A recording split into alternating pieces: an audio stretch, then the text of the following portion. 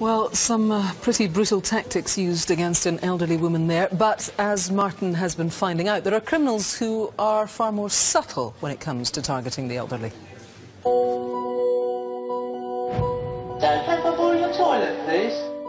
We've been there uh, nearly five years, and I thought we were really, really safe around here, you know? Let me come in, I'll get a receipt, I can get you to sign everything. Is that all right? You're petrified that they're going to come back again. Is that okay if I get a drink, please? Yeah. Thank you very much, sir.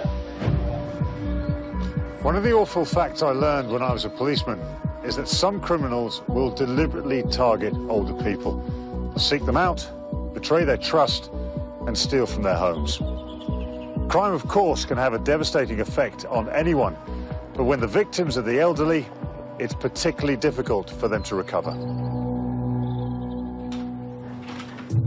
Operation Manhunt, a specialist team of detectives with Hertfordshire Police, deals solely with crimes against older people.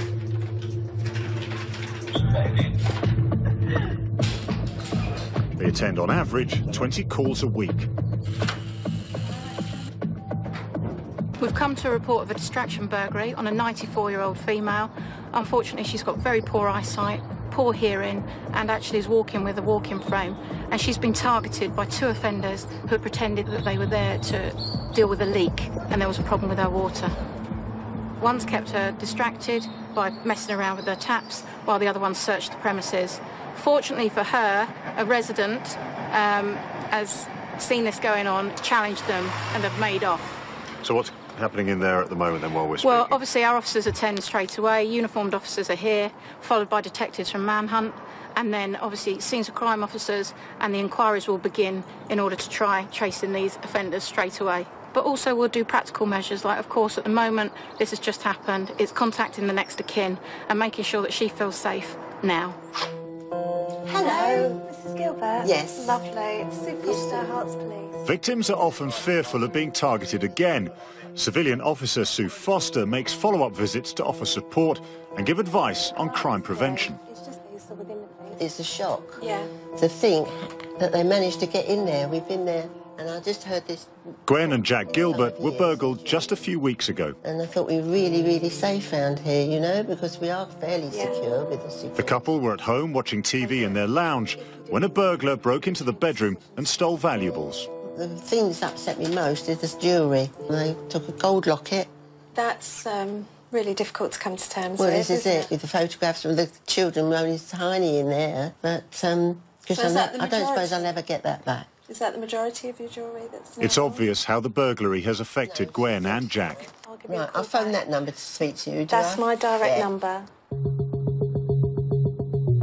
Each year, it's estimated there are nearly 800,000 crimes committed against the elderly. Investigators need to use increasingly cunning tactics to catch offenders.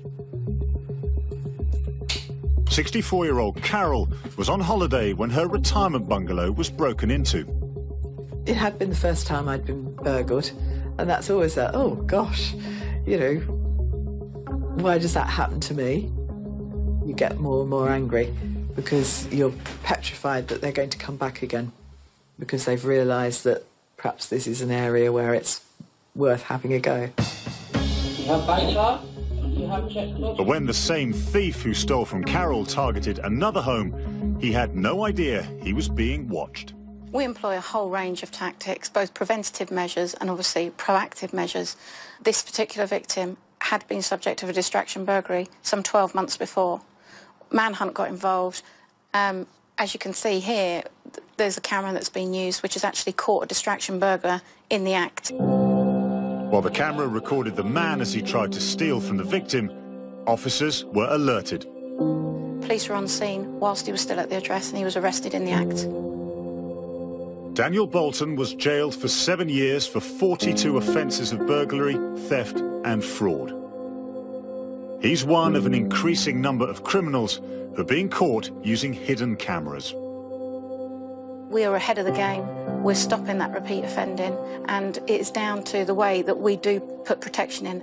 Um, we currently have reduced uh, distraction burglary by 65% so far this year, and we're averaging a, a detection rate of 70% of our offences. there is no better feeling than going back telling those victims that we've caught those offenders, and even better when we can return some of the property that they never thought they'd see again. That is massive job satisfaction for the team.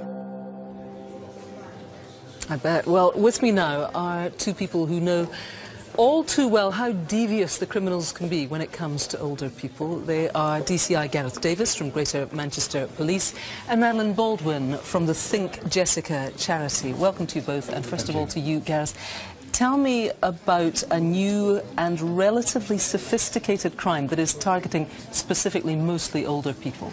That's right, we've seen a real spike in this type of criminality recently, and it does target the elderly and the vulnerable, whereby uh, the offenders will ring the victims purporting to be police officers.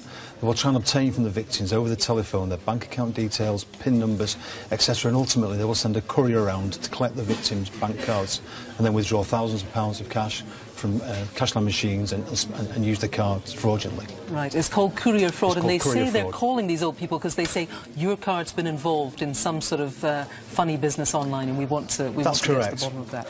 Well, this scam, as you say, Gareth, it's affecting all sorts of people across the country. We have spoken to one gentleman. He's in his 80s. He's from Essex.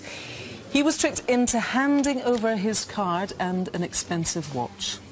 I am in my 80s now, and therefore it's possibly uh, older people that they are targeting who would be less on their guard. So uh, particularly people in my age group roundabout should be particularly careful.